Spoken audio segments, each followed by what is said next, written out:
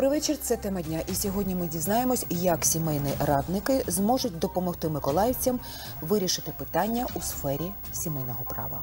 В студії начальник головного територіального управління юстиції у Миколаївській області Роман Возняк та сімейна радниця Катерина Мутєва. Друзі, я вас вітаю в нашій сьогоднішній вечірній студії. А глядачам я нагадую, що ми працюємо в прямому ефірі. Наш контактний телефон 76 92 33. Сімейні радники нова спільна ініціатива Міністерства юстиції України, координаційного центру з надання правової допомоги та громадськості.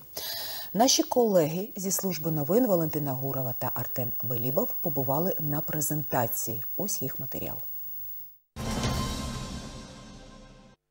Сімейні радники спільна ініціатива Мін'юсту системи безоплатної правової допомоги та громадськості спрямована на забезпечення захисту прав громадян у сфері сімейного права. Першим сімейним радником у Миколаєві стала Катерина Мутєва. За фахом жінка-юрист каже, у справах, які стосуються родини, люди неохоче довіряють посадовим особам. Саме як сімейна радниця, е, мій основний обов'язок полягає не в консультуванні, а в тому, щоб поговорити з людиною, розкрити її е, і перенаправити туди, де їй дійсно допоможуть. Щоб стати сімейними радниками, громадяни проходять спеціальну підготовку. Співпрацюватимуть із юристами, державними виконавчими службами, соцзахистом, поліцією та психологами. По суті, я просто небайдужа громадська активістка.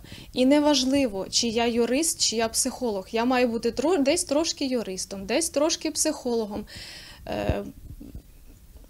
Десь трошки проконсультувати, десь трошки вислухати людину. На презентацію ініціативи прийшла Жанна Курченко. Вона клієнтка центру безоплатної правової допомоги. Після розлучення із чоловіком намагається отримати від нього борг по аліментах. На сьогодні це 56 тисяч гривень. За два роки відбулось 26 судових засідань в їх справі.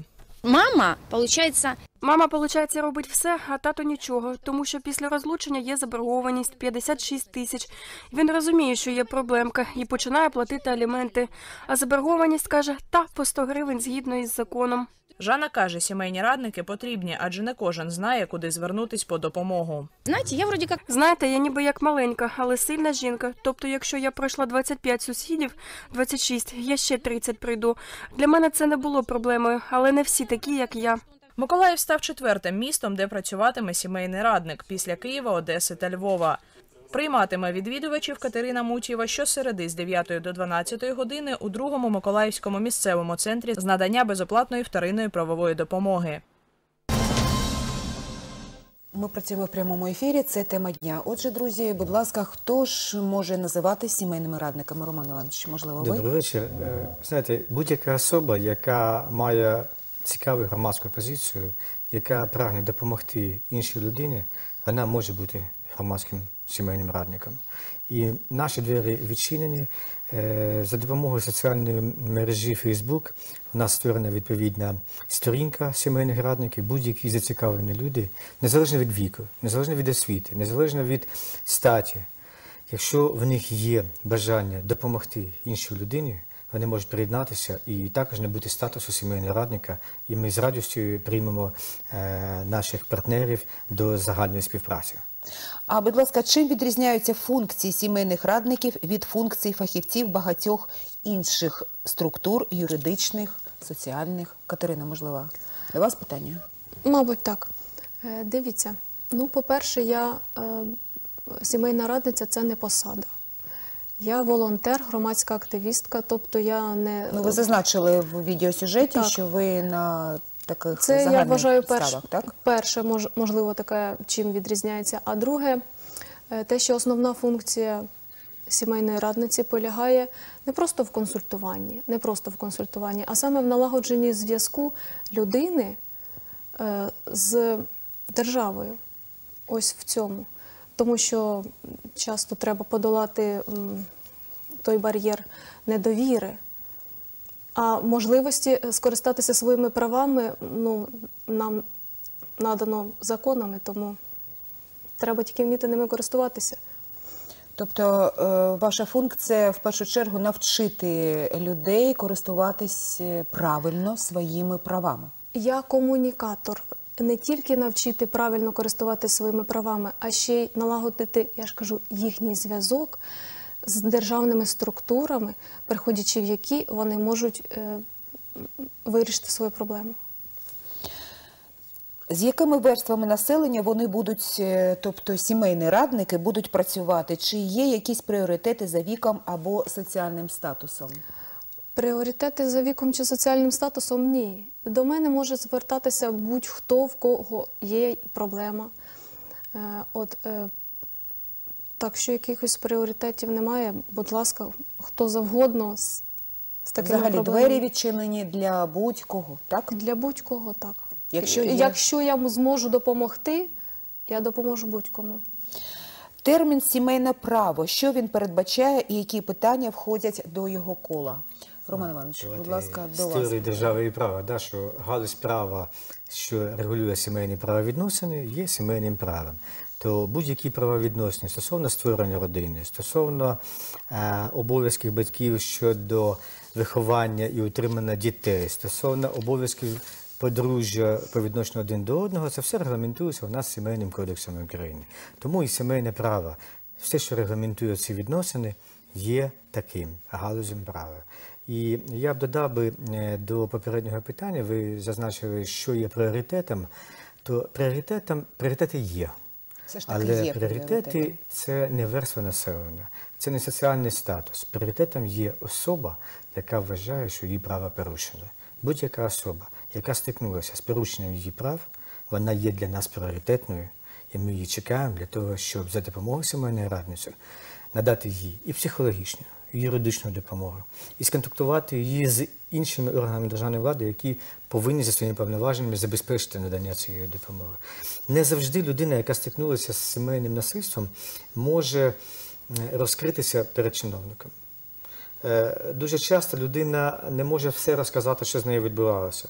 Тому тут сімейна рада вже виконує якусь частинку такої психологічної допомоги для того, щоб е, віднайти всю проблему, з якою стикнулася людина, тому що не завжди, навіть якщо е, людина стикнулася з фізичним насильством, треба допомога лише поліції. В будь-якому разі, можливо, допомога треба закладів охорони здоров'я.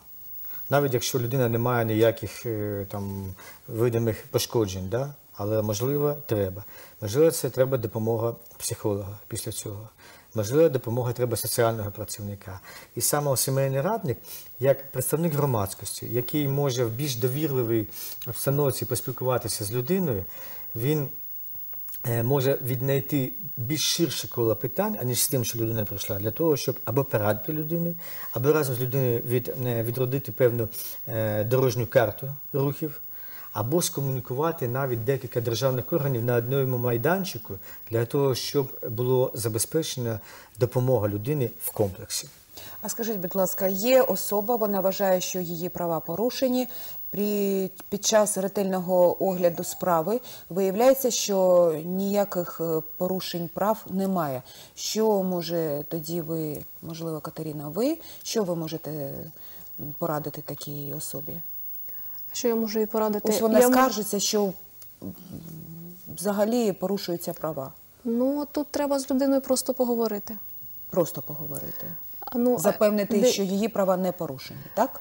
Не те, що запевнити, ну можливо, ну я ж кажу, тут таке питання не стоїть вже питання перенаправлення до якогось органу, якщо ми з'ясовуємо, що права не порушені. Ну е, людину, що ж турбує, тобто, все-таки десь, десь якась причина тому є. І ви повинні розібратись ретельно у цієї причині, чому вона до вас прийшла, така особа. Ну я намагатимуся вирішити будь-які проблеми, не тільки правового характеру. Розумієте, якщо людина до мене звертається, вона має отримати. е, Я зроблю для неї, для неї все, що зможу. Можливо, їй просто треба побалакати. Можливо, і так. Е, Ви Я е, додам, але у нас е, меморандум підписаний, окрім е, з державними органами, ще з рядом е, громадських організацій.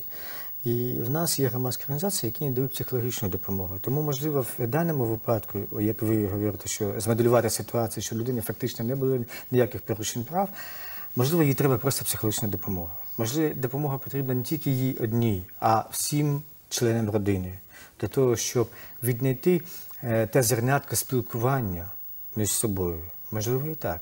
Тому ми зазначили, що насильство домашнє воно не має вираз лише в фізичному. Воно може бути психологічне, воно може бути фінансове, може бути сексуальне. І навіть заборона навчатися одному з членів подружжя від іншого, це також є елементами домашнього насильства. Це питання дуже широке, яке замовчувалося дуже часто в суспільстві. Люди боялися виносити сміття з хати. Але питання домашнього насильства воно дуже-дуже широке.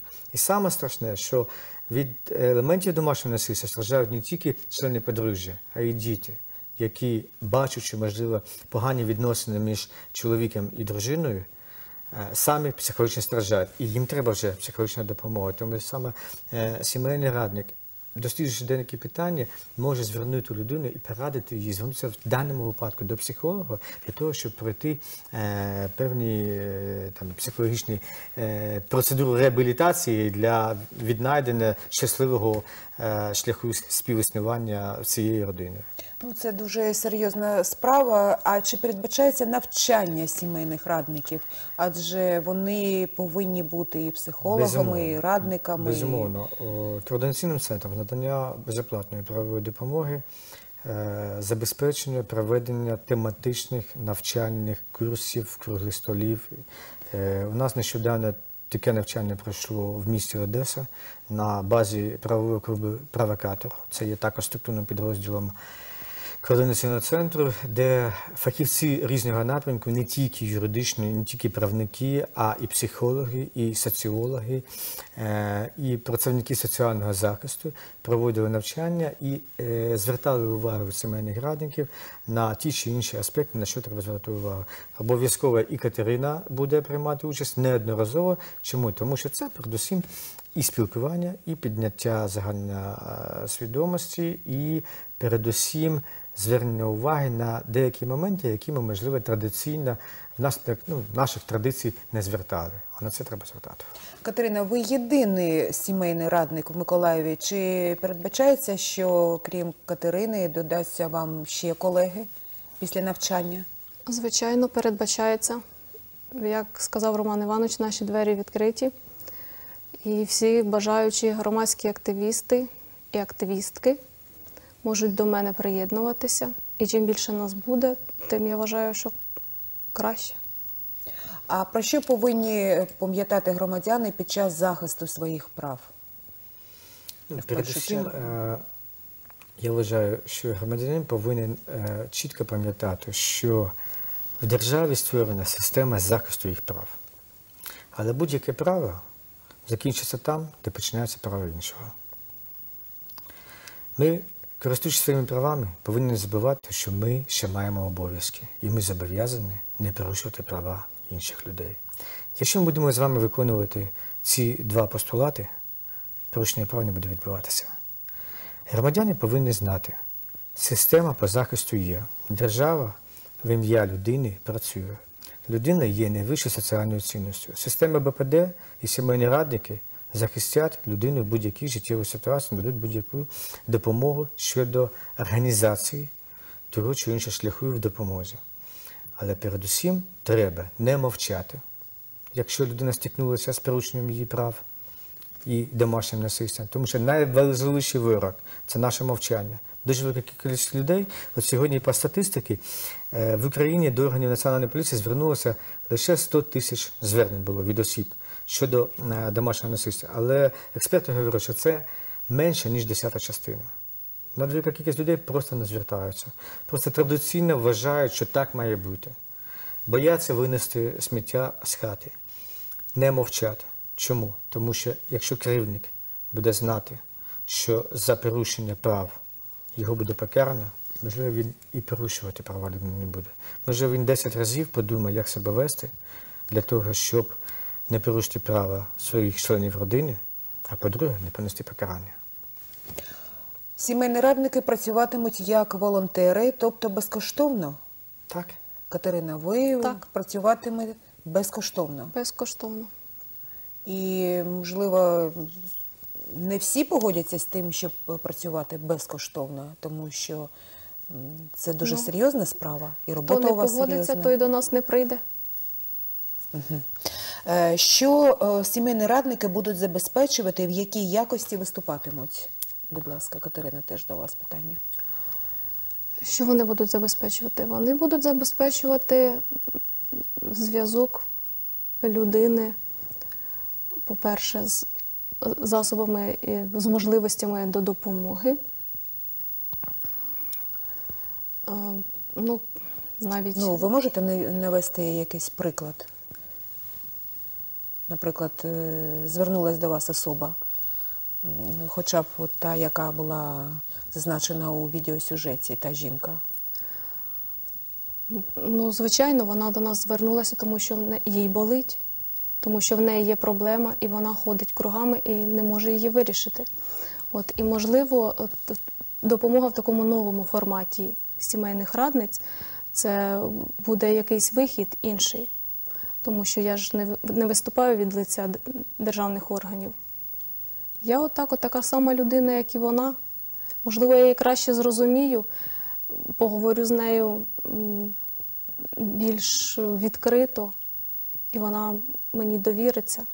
А я, в свою чергу, підведу її до того, до, до якогось правильного рішення. І е, куди правильно І звертатись? куди правильно звертатись. Зараз ця ініціатива активно впроваджується в Києві, Одесі та Львові. Коли запрацює в Миколаєві, і скільки у вас, Катерино, передбачається колег, Е, Роман Іванович? Можливо, вас? Як- Я, вітаю спитала всю Катерину, Миколаївську але- область, тому що відповідач на наше питання констатую від сьогодні, від, Від 10 сьогодні. години ранку, 8 листопада 2018 року, місто Миколаїв Знаменний став день четвертим містом в Україні після Львова, Одеси Києва, де з'явився інститут сімейного радника. Сьогодні Катерина у нас поки що працює одна. Тому що саме вона через соціальні мережі дізналася про такий інститут, і саме вона була ініціатором і виявила бажання, що вона е, виконує певну свою особисту місію щодо допомоги людям. Якщо завтра з'явиться інша особа, яка також захоче приєднатися, ми її запрошуємо. Незалежно від віку, незалежно від статі, незалежно від соціального походження і статків. Саме головне, людина має мати власне, е, власну місію допомоги іншим. Чому? Тому що ми всі разом з вами будуємо громадянське суспільство. А громадянське суспільство можливо побудувати лише поєднавши інститути громадянського суспільства, громадські формування, громадських інститутів з органами державної влади, інститутами державної влади. І саме сьогодні в місті Миколаїв Міністерство юстиції і система БПД вони презентували той крок, яким чином можна вдало поєднати на одному майданчику громадськість, органи влади і не тільки Міністерство юстиції. До нас же приєдналися як до наші партнери, це і органи національної поліції, це і інститут уповноваженого з прав людини, це і органи Міністерства соціального захисту населення, це і охорона здоров'я, це і управління освіти. Е, Це ряд громадських організацій, які займаються захистом прав і інтересів наших громадян. Тому це є презентація поєднання загальних зусиль громадських інститутів і державних для досягнення спільної мети захисту прав людини і громадянина. А скажіть, будь ласка, скільки передбачається в Миколаєві подібних центрів? На сьогоднішній день в Миколаєві це пілотний проєкт в Україні, да, чотири міста. Ми плануємо, що у всіх містах України з'являться такі е, система сімейних радників. І е, розширення коло місць, де можуть працювати сімейні радники, буде залежати лише від бажаючих приймати участь в цьому проєкті від кількості сімейних радників. Якщо їх буде 50, ми зробимо 50 майданчиків в кожному районному центрі. Все залежить від бажання представників громадськості. Наші двері відчинені. Ми готові відкрити цей проєкт і в Снігурівці, і в Казанці, і в Первомайську, і в Вознесенську. Але тут треба бажання, наше бажання є, і ми запрошуємо до цього проєкту інших людей, які бажають допомагати іншим. Що роблять сімейні радники, крім надання інформації громадянам про їх права? Ви вже е, зазначили, Катерина, що ви є такий зв'язок між людиною та якоюсь е, державною структурою. А ще щось? Ну, це загалом правопросвітницька робота. Ми е, розповідаємо в соціальних мережах і не тільки про те, що є така ініціатива, сімейні радники, про те, що люди можуть до нас звертатися, про те, що за свої права потрібно боротися, про те, що потрібно втікати від стереотипів. Ну, загалом така ще й правопросвітницька функція. Широке коло. Широке коло, так. Передбачається проводити регулярний прийом жінок у центрах правової допомоги. Чи можуть до таких центрів звертатись чоловіки? Обов'язково. Обов'язково, тому що родина у нас складається з дружини, з чоловіка з дітей. Всі ці особи є членами родини, і правовідносини цих осіб регламентуються сімейним кодексом. Тобто до сімейного радника може звернутися і чоловік, і дитина, і донька, і син, і мати, якщо вони постраждали від домашнього насильства. Незалежно від того, хто звертається, сімейний радник допоможе. І я хотів би додати, що сімейний радник він не тільки комунікує з особою, він, можливо, скеровує особу до того органу, кому потрібно. Можливо, навіть разом з працівниками ДВД вони складуть і, наприклад, скарги в поліцію, або відповідний запит е, там, до там, податкової, наприклад, для того, щоб дізнатися про рівень доходів, для того, щоб подати позов щодо там, встановлення розміру аліментів і так далі. Чому? Тому що ми слід пам'ятати, що аліменти і необхідність сплати аліментів можливо встановити навіть не розлучаючись, навіть перебуваючи у шлюбі. Якщо батька, наприклад, не приймав участь в вихованні і утриманні дитини, то жінка може, навіть перебуваючи у шлюбі, звернутися і встановити алімент. Так само і непрацездатні батьки можуть звернутися за встановленням аліментів до своїх дітей, дорослих дітей. І діти повинні утримувати батьків. Тому сімейна радниця вона має дослідити питання і скомунікувати всіх наших партнерів для того, щоб той орган, до компетенції якого відноситься питання щодо захисту людини, він її надав. Щоб людина не бігала по колу по всьому місцю, щоб вона прийшла в одне місце і могла дізнатися, або ми могли скомунікувати з іншими органами влади, щоб людині допомогли, людину прийняли, людину е, там прийняли і зареєстрували її скаргу, відпрацювали питання, яке порушує людина, надали допомогу. Ось. е, А чому саме семінар? Тому що цей інститут, він, люди більш довіряють таким самим простим людям. Тому що, на жаль, ми говоримо сьогодні в суспільстві дуже часто до простих чиновників є недовіра. Тому ми, е, як більш довіреності від громадського суспільства, громадянського суспільства, а саме громадського, громадського діяча запросили до цього проекту. Ми вже з'ясували, що волон... е, сімейні радники працюватимуть як волонтери, тобто безкоштовно. А надання е, такої допомоги громадянам теж буде відбуватися Абсолютно безкоштовно. Надання вторинної правової допомоги, робота адвоката відбувається за рахунок державного бюджету. Для людини ніяких коштів не потрібно. Правова допомога надається безкоштовно. Все, що ви зараз перерахували, Роман Іванович, е, вимагає від сімейного радника е, бути дуже досвідченою людиною. Чи як ви будете проводити відбір тих, хто бажає стати сімейним радником? У нас залишається хвилина, Е, я думаю, ми встигнемо. Ми будемо приймати будь-яких людей незалежно від освіти, які е, згодні комунікувати, які мають на меті допомогти. Чому? Тому що сімейний радник, який не володіє певними знаннями, наприклад, справа, він завжди може скомунікувати з працівником центру БПД або з адвокатом, або з поліцейським для того, щоб вже відповідні кваліфіковані люди надали людині допомогу. Це комунікація. Це, скажімо так, кол-центр широкого загалу. Катерина, ви можете щось додати? У нас залишається півхвилини. Я хочу додати лише те, що я готова е, приймати будь-які звернення. Будь ласка, звертайтеся до мене. На Фейсбуці є е, група сімейних радників. Е, Там не тільки сімейна радниця з Миколаєва, там є і сімейна, сімейні радники е, з Одеси, Львова, Києва. Будь ласка, звертайтеся. Будемо допомагати, будемо працювати. Разом. Разом. Друзі, спасибі, часу більше немає. А сьогодні у нас знаменний день. В Миколаєві запрацювала ініціатива Сімейні радники. Це була тема дня. На все добре.